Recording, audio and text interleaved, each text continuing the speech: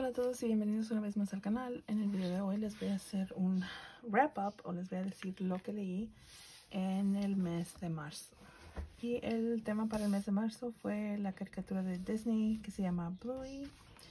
Y este es el calendario ya terminado con el libro que leí, los días que leí.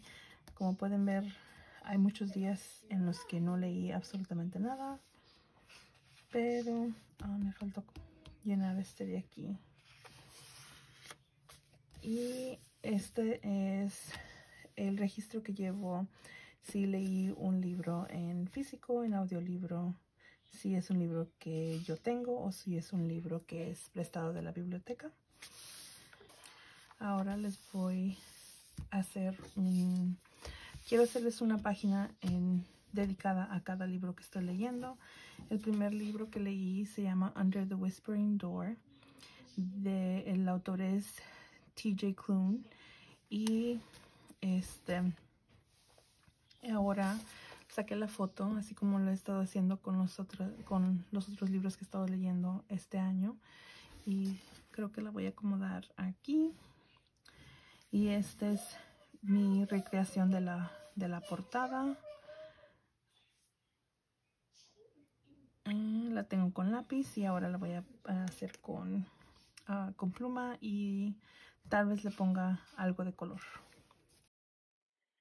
Y pues aquí fue donde me di cuenta de que si ah, este video iba a estar muy largo, si les juntaba todos los clips que hice durante el mes, este, para mi libreta de, de las lecturas del mes de marzo, entonces lo que voy a hacer es, lo voy a dividir en dos videos para que los videos sean un poquito más cortitos y más difícil, más fácil de, dirigir y también más fácil de editar y subirlos. Pero en este primer video les voy a hablar del primer libro que leí en el mes de marzo. El libro se llama Under the Whispering Door y es de TJ Klune.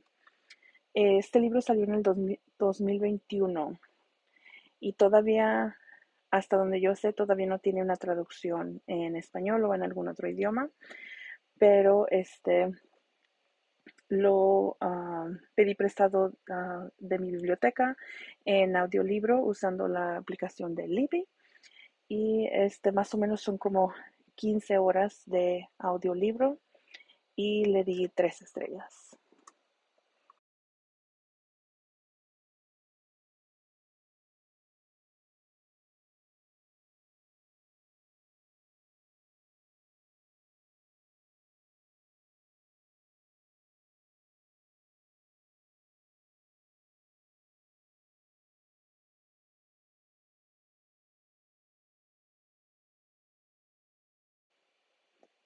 Y para hablarles un poquito del trama de este libro, eh, se trata de nuestro personaje principal se llama Wallace y él es un abogado, toda su vida se ha dedicado a expandir su, su, este, su business, su negocio y este, la mayoría de su tiempo la dedica a su trabajo y a sus clientes y desafortunadamente descuida relaciones que, que están a su alrededor, como la relación que tenía con su ex esposa, relaciones con familiares y con amigos que pudo desarrollar, las descuida y este llega el momento en el que fallece, le da un eh, ataque al corazón y fallece. Entonces, la, la mayoría de, este, de esta historia no la pasamos en donde él ya fallece, pero no está entre el mundo de los vivos y el mundo de los muertos. Y este, vemos cómo empieza él a reflexionar, eh, reflexiona acerca de lo que pudo haber hecho con su vida, las relaciones que él pudo haber desarrollado. Sobre todo, se arrepiente muchísimo de eh, no haber nutrido esa, esa relación que tenía con su ex esposa y cómo hubiera podido ser algo muy bonito que no se dio porque él básicamente no era su prioridad, su prioridad era su trabajo y este sus clientes, pero este llega a, este lugar donde están otras personas ahí que básicamente se, encargan de ayudar a las personas que están en, ese entremedio, como en ese limbo y no, todavía no, no se despegan totalmente del mundo de los vivos y este, no quieren pasar a, ese mundo de, de, los muertos todavía. Entonces tienen que tomarse su tiempo.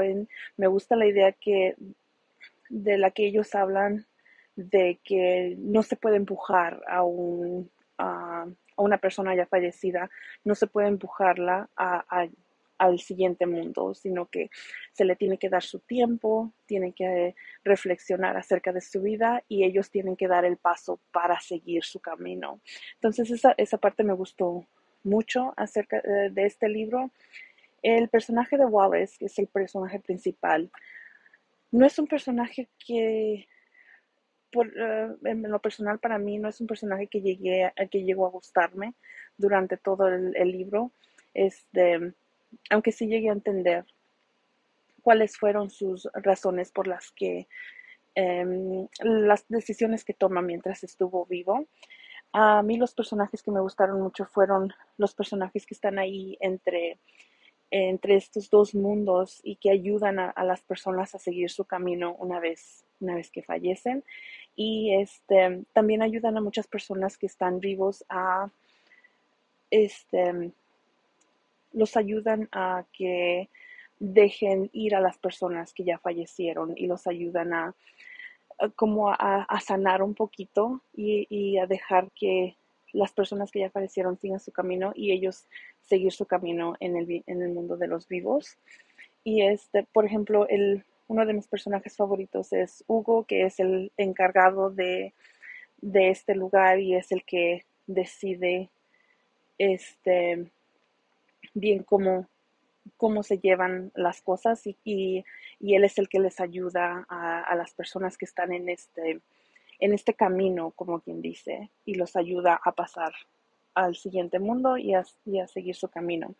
Y um, es, un personaje muy bien desarrollado, me encantó saber acerca de su, de, toda su vida, cómo, cómo fue que llegó a, este lugar y cómo él lo, toma como un trabajo, pero es algo también muy, muy personal de él, que es, él quiere ayudar a, a estas personas que están en este, en este lugar donde están casi como atorados y no saben si seguir adelante o todavía tienen algo que los está atando al mundo de los vivos.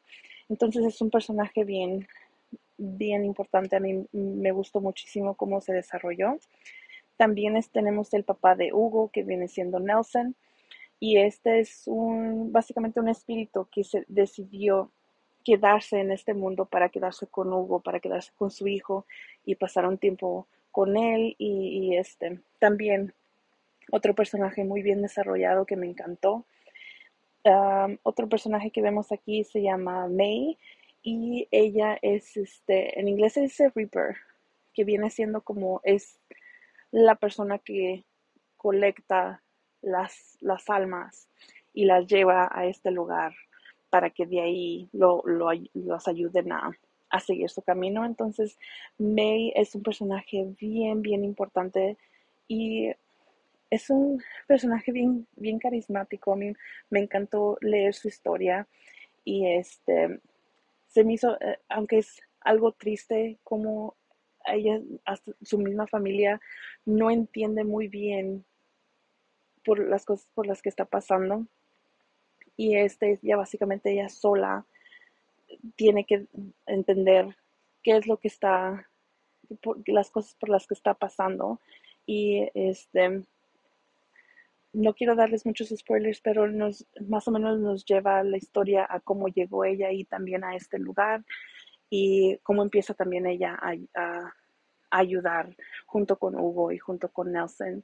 Y este se me hizo muy, muy bonita la historia, aunque es es predecible porque ya sabes qué es lo que va a pasar. Él va a reflexionar sobre su vida, eh, se va a dar cuenta de que todo lo hizo mal, se fijó en todo, en todo lo material y no le dio prioridad a las experiencias este, con um, relaciones con otras personas. Entonces es predecible, pero al mismo tiempo es, es este, es una historia muy bonita para leer. Eh, lo único que se me hizo que a veces estaba muy lenta, entonces por eso no le di más estrellas, le di 3 de 5 estrellas.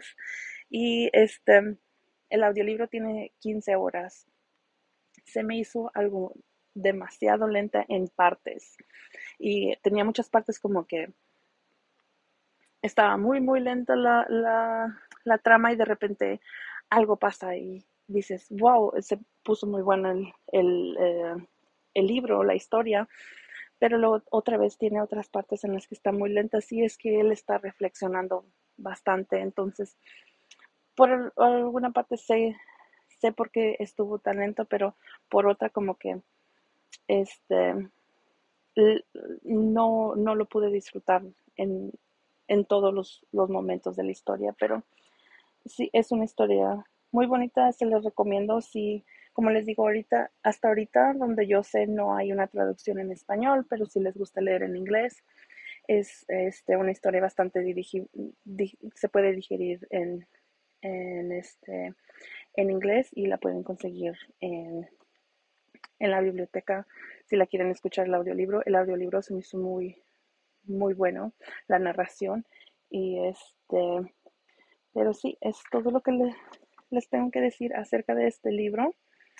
Y como les había dicho, en el siguiente video les voy a hablar acerca de los otros dos libros leí en el mes de marzo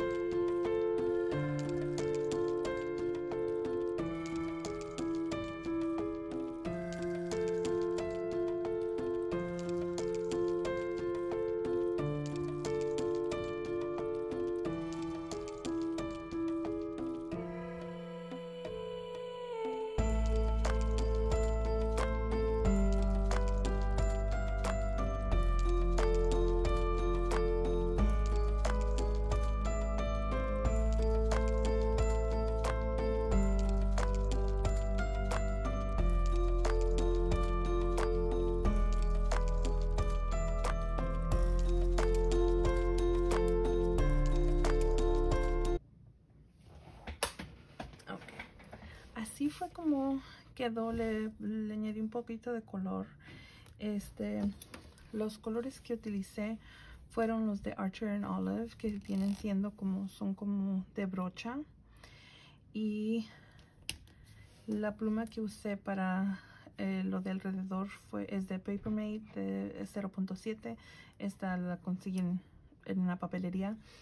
Y también los que usé fueron estas acuarelas las acuarelas las conseguí en Amazon. Es las más baratas que me encontré porque este, no quería comprar algo muy caro porque soy nueva con acuarelas. No sé muy bien este, cómo usarlas, pero estoy aprendiendo. Entonces quería un set que no estuviera muy caro y también porque sé que mis hijos las van a estar usando. Entonces esto es nada más para que vayamos aprendiendo.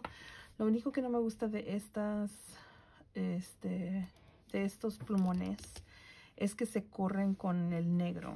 entonces tiene, tengo que tener mucho cuidado a la hora de pintar con este. Tal vez tenga que pintar primero con este y después delinearlo con el, con el negro. Em, pero este, estas plumas, estos plumones hacen que se corra los colores que están alrededor si, si se llegan a mezclar. Y fue lo que pasó aquí. Le intenté tapar con negro, pero por ahorita lo voy a dejar así. Después a lo mejor le, le cambio aquí, le hago otras cosas porque no me gustó mucho cómo quedó aquí abajo. Las otras casas de acá arriba, estas sí me gustaron cómo quedaron ya con el color. Y esta calcomanía es de un set que tenía de, de la tienda del dólar. Y este como tienen, está una motocicleta aquí en la portada. Quise ponerla aquí. Espero que les haya gustado el video y la recomendación de hoy. Muchas gracias por ver el video y nos vemos en el próximo.